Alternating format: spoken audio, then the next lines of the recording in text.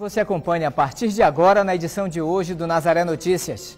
Utilização do cinto no banco traseiro garante segurança aos passageiros. Órgãos de segurança dão início à Operação Verão 2015. Manutenção preventiva em veículos garante férias tranquilas. No quadro de direitos, o advogado Paulo Barradas fala sobre planos de saúde. Como acondicionar alimentos perecíveis. Na série sobre cidade de Benevides, vamos falar sobre a colônia agrícola e a primeira estação da estrada de ferro Belém-Bragança. Os cuidados necessários na hora de brincar com papagaios e pipas. Prática de atividade física pode melhorar a qualidade de vida.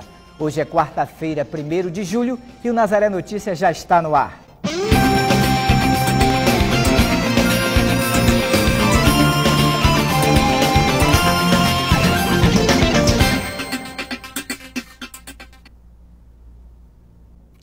Ontem evidenciamos aqui no Nazaré Notícias uma série de informações sobre o trânsito nas rodovias, as implicações de utilização de equipamentos e do carro sem a devida manutenção. Hoje destacaremos um outro item que, se utilizado corretamente, pode salvar vidas. O Brasil se comoveu nos últimos dias com a morte de um cantor em um gravíssimo acidente de trânsito. A falta do uso do cinto de segurança no banco traseiro do veículo contribuiu para a morte dos ocupantes do carro. Uma pesquisa realizada pelo IBGE aponta que a maioria da população brasileira não utiliza o cinto no banco traseiro. Carlos é taxista há cerca de 40 anos. Ao entrar no veículo, a primeira coisa que faz é colocar o cinto de segurança. Sempre uso, para não fazer falta depois, né? O taxista conta que o hábito de usar o cinto de segurança já ajudou em muitas situações. Quando a criança soltou da, da mão da mãe dele na gentil com o cinto castela. Ele atravessou a rua, eu apertei o freio e se eu não tivesse com o cinto, né, tinha me batido.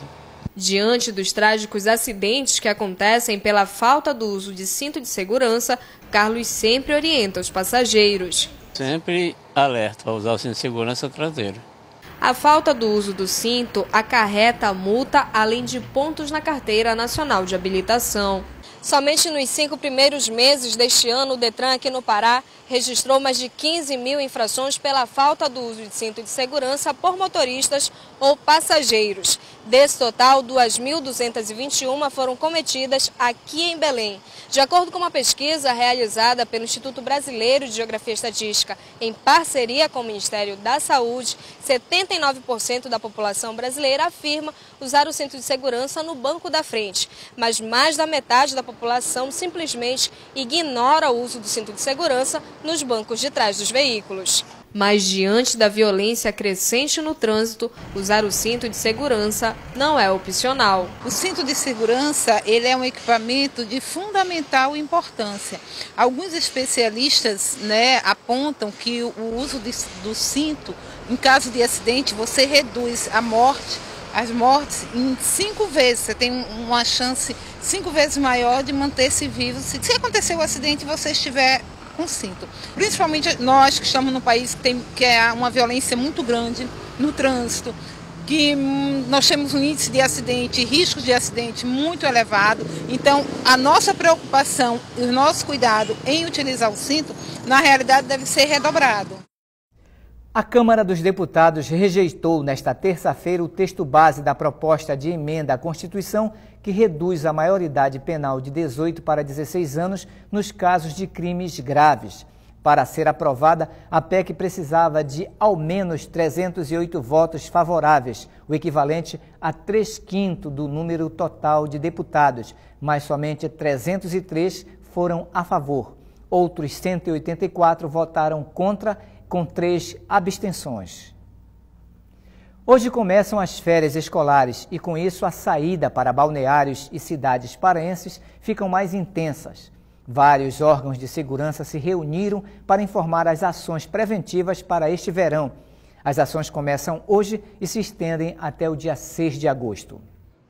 Vários órgãos apresentaram suas ações preventivas durante a Operação de Verão 2015. O governador do estado, Simão Jatene, também estava presente na coletiva e saudou a operação. É mostrar a absoluta necessidade de integração de todos os agentes de segurança pública.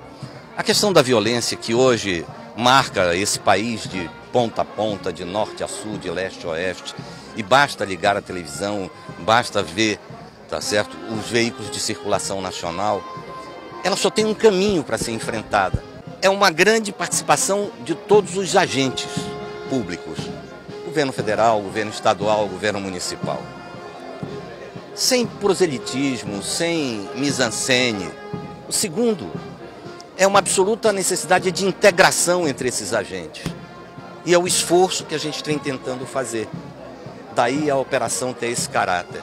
O foco da operação deste ano será intensificar e dar a maior atenção nos municípios com grande fluxo migratório, nas estradas onde o tráfego é constante e também nas embarcações e seus condutores. A Avenida Independência, BR-316 e PA-391, que são as principais vias que dão acesso às praias e balneários do estado, também serão fiscalizadas. Ao todo, são 68 municípios e 122 localidades, onde as ações preventivas serão realizadas. Cerca de 5.300 servidores atuarão neste verão. Entre os órgãos, o Detran irá realizar várias atividades na operação.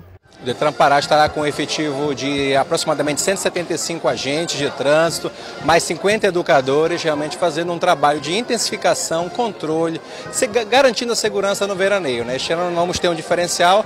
O Detran fez a aquisição de quatro quadriciclos que farão é, ajuda, principalmente na área do, de Salinópolis, onde nós temos uma quantidade muito grande desse tipo de veículo e precisa de deslocamento rápido, ágil, para garantir lá um sossego naquela localidade que é muito movimentada agora neste ano.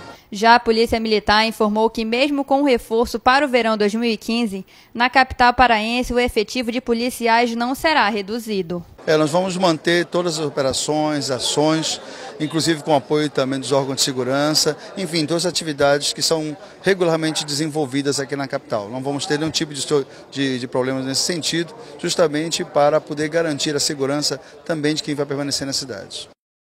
Trabalhadores de Bujaru, a 70 quilômetros de Belém, poderão ter a documentação pessoal em dia de forma gratuita.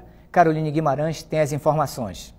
De hoje até o dia 3 de julho, o Ministério do Desenvolvimento Agrário realiza mutirão no município de Bujaru, oferecendo emissão de primeira e segunda via de documentos como carteira de identidade, CPF, carteira de trabalho e certidão de nascimento, além do atestado de aptidão ao PRONAF, que dá acesso ao crédito rural oferecido pelo governo federal.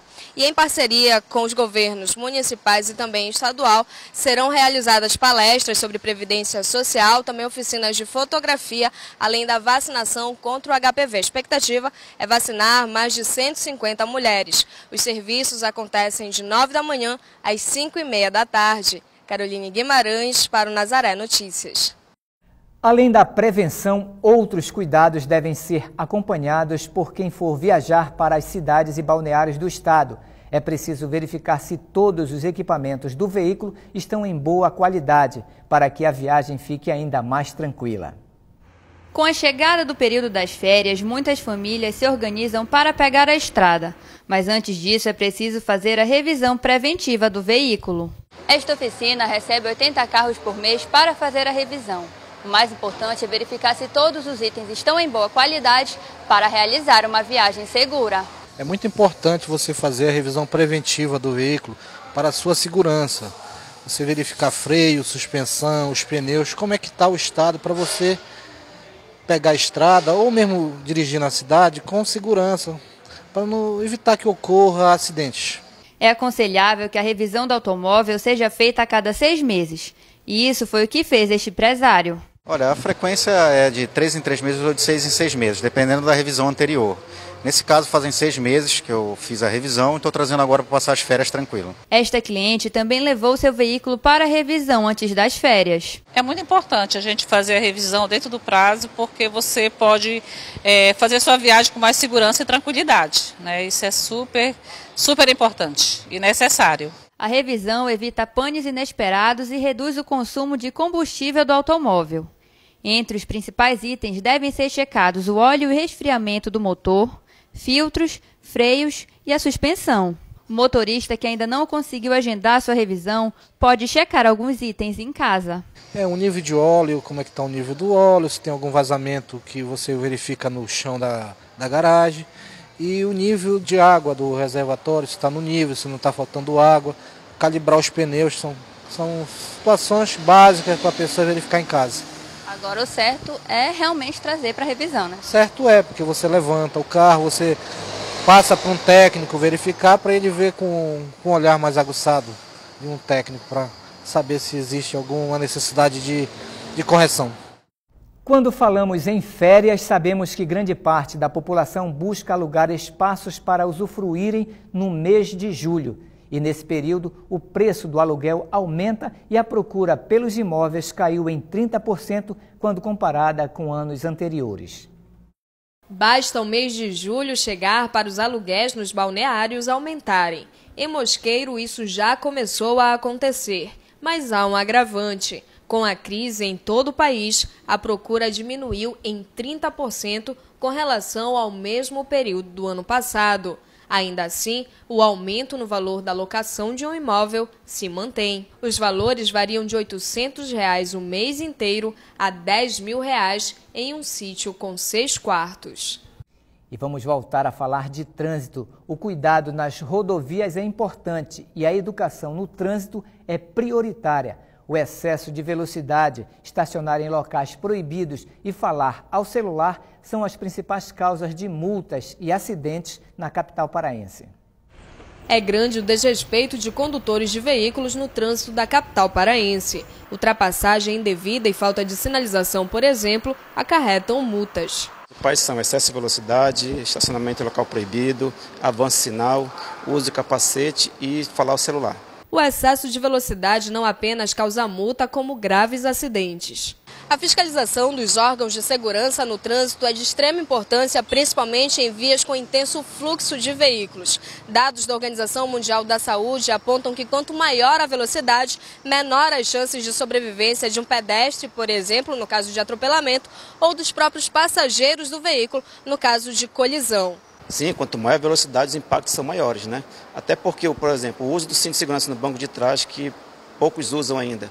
Um acidente com 40 por hora, 50 por hora, o peso da pessoa é multiplicado por 20. Então ela é projetada para frente. Então ela pode até levar os dois condutores do banco da frente que estão com o cinto perderem a vida, porque aquela pessoa está sem o cinto. Para mudar essa realidade, são realizadas ações educativas. Nós estamos fazendo, nosso setor de educação hoje está com mais ou menos umas 20 pessoas, né, fazendo esse trabalho diuturnamente. Todos os eventos que nós estamos participando da prefeitura e do modo geral que nós somos convidados, nós levamos os nossos arte educadores. Além das nossas palestras, educadores, e agora nós temos o nosso grupo mais forte. São 10 agentes educadores. Né? Nós criamos o um projeto O Agente Educador. O que é isso? São agentes que saíram da pista, estão trabalhando exclusivamente na educação do trânsito. Mas nenhuma ação adianta se o condutor não souber ser gentil no trânsito. Tendo gentileza no trânsito, tendo essa educação, tendo paciência. Isso no acidente de trânsito tem um percentual até muito grande, que às vezes acidente é por besteira, é simplesmente por, por rapidez, né? A pressa, o ato de chegar mais rápido. E o principal, o sinal amarelo é de advertência, não é para aceleração, é atenção, não é aceleração. E a gente, como condutor, né, costuma muito fazer isso, né? Acelerar para passar o mais rápido possível. E numa dessas você pode ter um acidente muito sério com vítima fatal.